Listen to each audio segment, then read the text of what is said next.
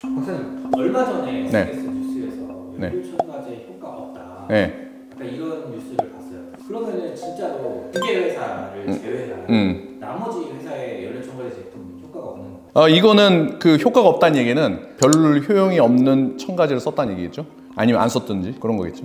사실 이 케미컬 종류는 일반 사람이 보기가 어려워요. 그래서 얘네가 뭐 거짓말로 얘기할 수도 있고 전혀 얼토당토 없는 걸 갖다가 쓸 수도 있고 그냥 연소만 일으키게 만들 수도 있잖아요. 그죠?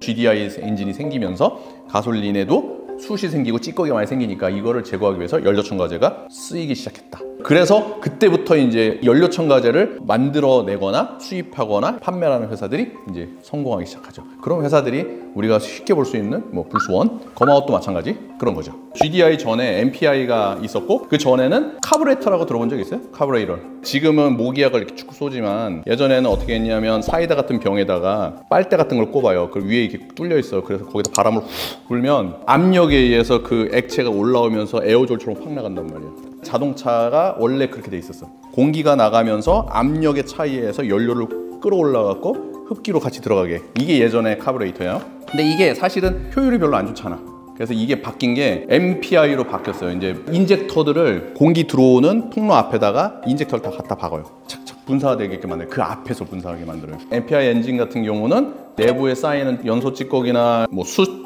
그런 것들이 적어요. 사실 MPI 엔진에 연료 첨가제를 쓰면 GDI 엔진처럼 효과는 미비는 하겠지만 여기도 청정 효과를 위해서 내부를 청소를 깨끗이 해주는 거니까 내부가 깨끗해지면 당연히 연소의 그런 효율성이 좋아지는 거지. 이거를 어디다 사용하느냐에 따라서 숯이나 이런 것들이 많은 데에서 사용하면 더 많은 효과를 볼 것이고 그런 것들이 적게 있는 데다가 연료 첨가제를 쓰면 적게 없어지는 것처럼 보이니까 효과가 적은 것처럼 보이겠죠. GDI는 gas direct injection입니다. 직분사예요, 직분사. 디젤 엔진 경우는 무조건 다 직분사예요. 가솔린은 그렇게 하지 않았어요. GDI 엔진은 사실은 예전에는 환상적인 엔진이었어요. 처음 나왔을 때. 와, 이거 열 효율도 좋아지고 출력도 좋아지고 장점이 너무 많으니 환상적인 엔진이라고 그래서 이게 딱 나온. 그래서 사람들이 엄청나게 열광하기 시작했어요. 그래서 전 세계의 자동차 회사들이 다 GDI 엔진을 쓰기 시작합니다.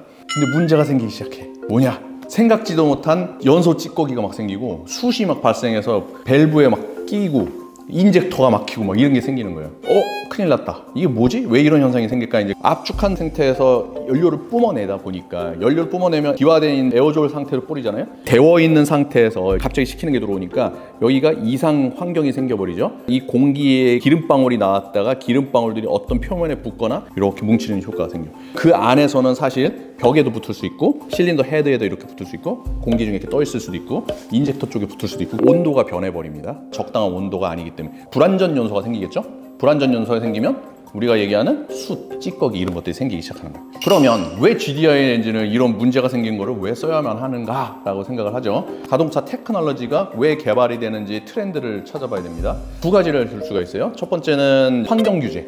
PM 줄여야 된다. 분진 줄여야 된다는 얘기입니다. 그 다음에 NOx, SOx, COx 그런 거 있죠? 그런 것들 줄여야 된다.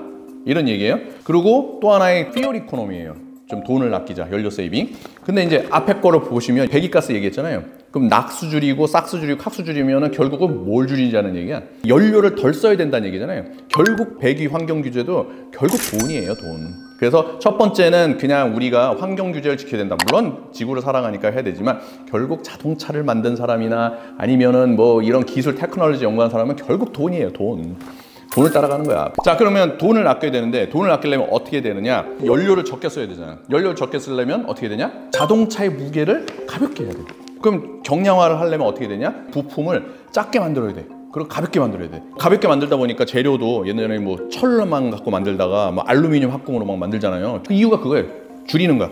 엔진 크기도 계속 줄어들어요. 그래서 예전에는 자동차에 6기통, 8기통 막 이렇게 썼잖아요. 근데 지금은 1600cc 막 줄여들고 요즘은 막 경차도 나오고 막 그러게 하고 그게 트렌드예요. 이게 줄이는 거야. 그러면 사람들이 출력이 만약에 떨어지면 좋아하겠어요? 안 좋아하지. 줄이는 거는 네 사정이고. 그래도 나는 똑같은 출력을 갖고 싶다. 그러면 작아지는데 출력을 높이려면 어떻게 해야 되겠냐? 자동차의 그 연소 효율성을 높여야 되잖아요. 그래서 나온 것들이 여러 가지 기술들이 있는데 엔진의 구조를 설계를 바꾸는 경우도 있고 뭐 injector의 뭐 분사하는 시간 뭐 이런 것들 그것을 교환하기도 하고 밸브를 여닫는 거를 또 연구를 하기도 하고 다양한 방법으로 연구를 해요. 그 중에 연소에 들어가는 기술이 gas direct injection이에요. 가장 쉽게 바꾸는 방법은 어떻게 보면 두 가지가 있어요. 첫 번째 엔진 오일로 해서 바꾸는 방법이 있습니다. 이거는 이제 임시 방편이긴 하지만 그래도 지금 현재 많이 쓰고 있어요. 뭐냐면 칼슘량을 줄여야 되는 거야. 자, 그럼 어떻게 줄이냐? 칼슘 대신 넣을 수 있는 첨가제를 넣어야겠죠? 그게 우리가 얘기하는 마그네슘 sulfonate, 마그네슘 phenate 이런 마그네슘 청정제를 집어넣는 겁니다. 자, 이게 언제부터 됐냐면 API SN 플러스급부터 나오기 시작했습니다. SN급에서는 없어요. 그 SN 플러스부터는 마그네슘 청정제가 들어가 있어요. 그래서 분석해 보면 마그네슘 나오면 어 얘는 LSP에 줄여달라고 만들었구나 이렇게 이제 해석이 되겠죠. 그 다음에 또 하나는 방법은 뭐야? 내부를 청소해야 되는 거야.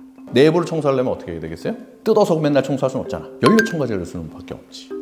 운전자가 몸으로 느낄 수 있는 뭔가 증상이라는 게 있을까요? 아 있죠 있죠 이거 왜냐하면 이제 이건 이상적으로 환경이 만들어지는 거니까 출력도 줄여들 수 있고 진동도 느낄 수 있고 소음도 나고 그 다음에 LSPI 같은 거 생기면은 막 그게 빵빵빵빵 터지는 그런 문제도 있을 수 있고요 근데 이게 찌꺼기가 너무 많이 생기면 LSPI와 다르게 또 knocking이라는 게 있어요 이거는 찌꺼기들이 생기는 그 사이에 또 chamber 같은 게 생겨요 막 그래서 거기서 터지는 문제들이 있어요 LSPI는 처음에 팍팍팍 터지는 건데 knocking은 나중에 막 빵빵 터지는 거예요. 그리고 fuel economy, 즉 연료 효율성도 떨어지니까 연료를 더 많이 쓰게 되고 여러 가지 그런 문제들이 생깁니다. 그러면 지금 현재 그 연료 첨가제 성분 중에 이제 이런 찌꺼기를 제거해야 되는 게 필요하잖아요. 가장 이상적인 그런 연료 첨가제 성분이라고 얘기하면 PIBSA라고도 얘기하고 뭐 또 하나는 이제 PIBA가 있어요. 걔네들은 처음에 들어올 때는 clean이 잘 돼. 헤드도 clean하고 뭐 밸브도 clean하고 injector도 clean하고 하는데 폭파되면은 그 이제 없어져 버리는 거야 효과. 효과가 있어서 썼지만 끝까지 남아 있지 않으니까 아직 그 효과는 없다. 그 다음에 우리가 이제 차세대로 3세대인가 지금 와 있는데 이게 PEA입니다. PEA 같은 경우는 그 연소 온도에서 버텨낼 수 있는 게 PEA입니다.